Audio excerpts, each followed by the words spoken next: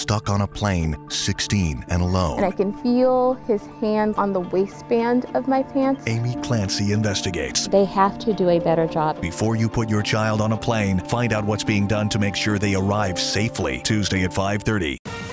Next ET.